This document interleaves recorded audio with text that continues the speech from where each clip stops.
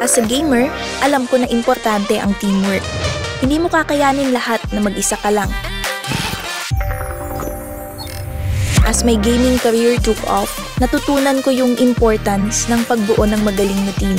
Para manalo, kailangan mo ng tulong. Iba-ibang skills, iba-ibang perspectives. Same thing with real life problems. Mas madami kang magagawa with the help of others. Which is why, I decided to use my platform as a streamer for good. Nangihikayat ako ng iba para mas makatulong.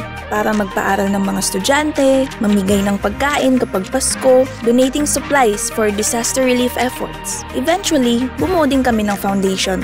Hindi lang gamers ang kasama, mga doctors at volunteers din. Teams of people na iba-iba ang skills.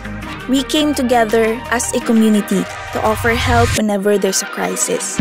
Because if we can use technology to bring people joy, why can't we use it to change the world?